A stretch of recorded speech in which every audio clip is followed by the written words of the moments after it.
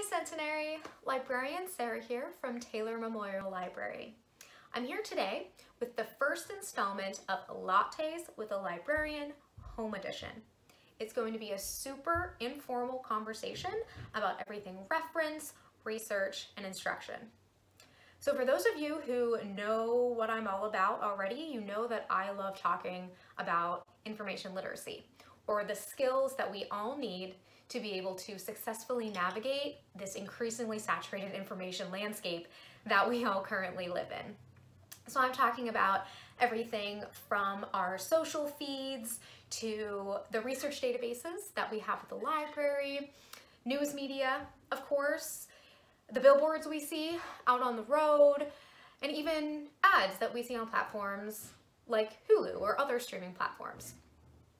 In short, do you know what you need to know when you need to know it? Say that five times fast.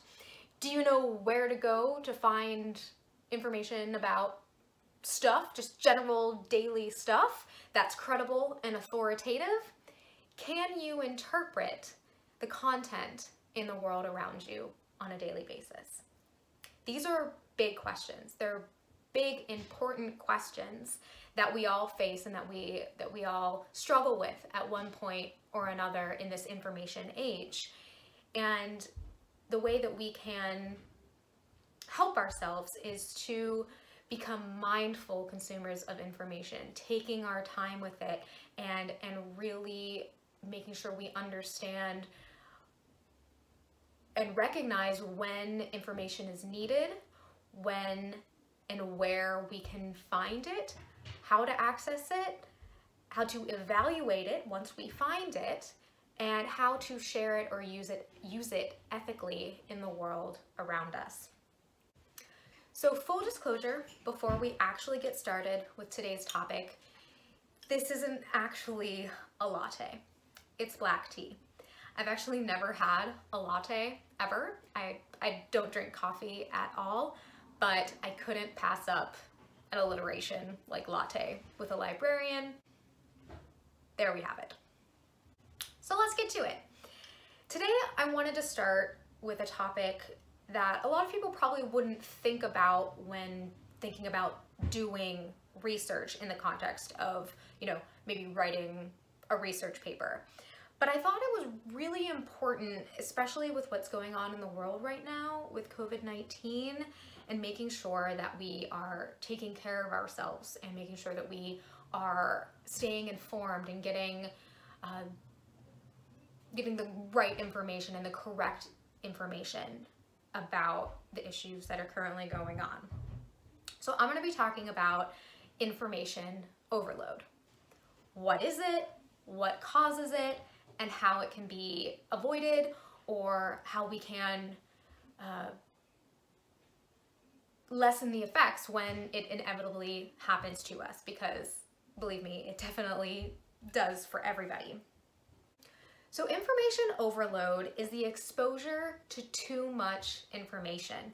Oftentimes it's irrelevant, oftentimes it is infactual, oftentimes it's coming from uh, a source that is not authoritative, somebody that we shouldn't necessarily be trusting, and it often leads to the inability to understand a concept or an issue or make a decision. So here's an easy example. Netflix. How many times have you sat down with the intention of starting something brand new only to scroll for 10, 15 minutes through hundreds of titles before choosing that show that you've watched a thousand times? For me, that show is always The Office. But we do this because it is too overwhelming. There are so many choices. We can't decide because our choices seem unlimited. This is um, information overload. Brain fog. Brain fog. The same thing can happen when catching up on the news or looking at articles in the databases. It's all the same thing, that brain fog. Brain fog we can't seem to, to see through that because there are too many choices. We don't find what we need, we get frustrated, and we give up. So how can we combat this? How can we avoid this from happening to begin with and what what are some things that we can do to help it once it's already started. So I have my top five recommendations and I actually practice these myself so I know that they work to an extent uh, and if anybody has any other suggestions I'm, I'm happy to hear them. Um, you know, we can always help each other out. Here are my top five recommendations. Number one, brain dump and be clear. So make a list of everything floating around in your head. Just get it out. Write it down, all of it, no matter what it is. It could be as silly or as, imp as important, whatever, put it down. From there, you can categorize your thoughts into a now, later, and eventually making it clear what you need to focus on moving forward. Number two, skip alerts and unplug. Turning off all alerts except for text messages on my phone was probably the best thing I have done ever. I have no, I do not have any of those annoying red bubble numbers reminding me about things or being a constant distraction to what else I have going on.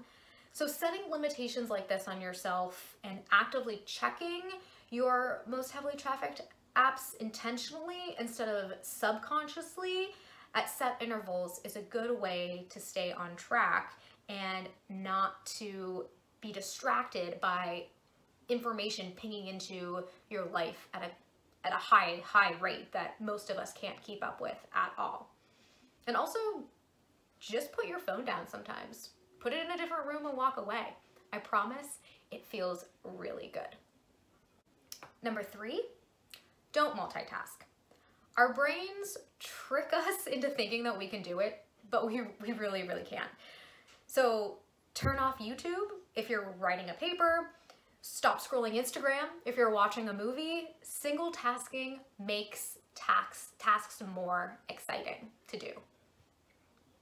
Number four, empty your inboxes. So don't leave messages in your email inbox.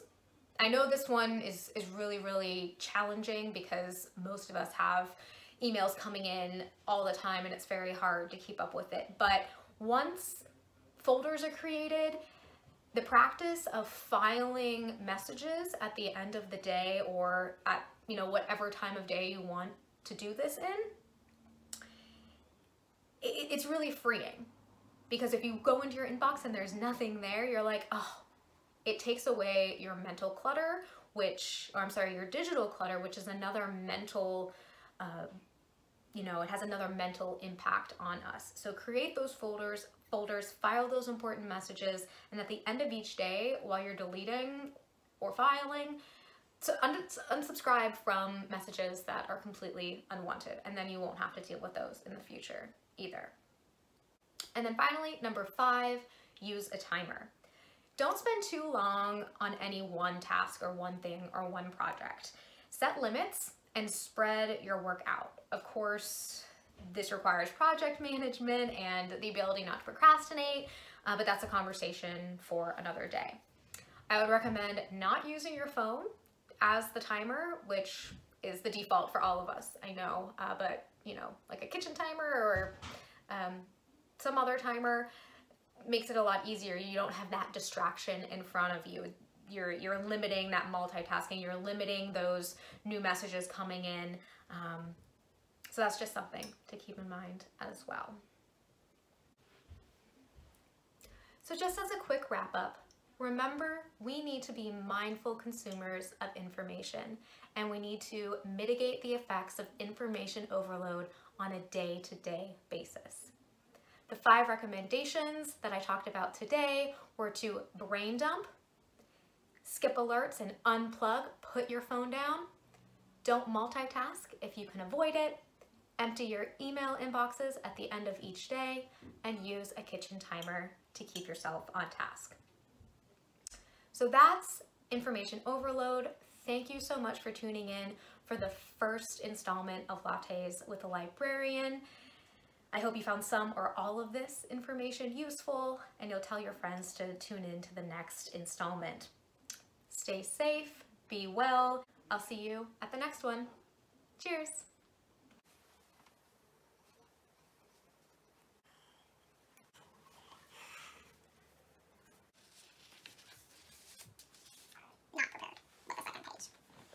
Brain fog.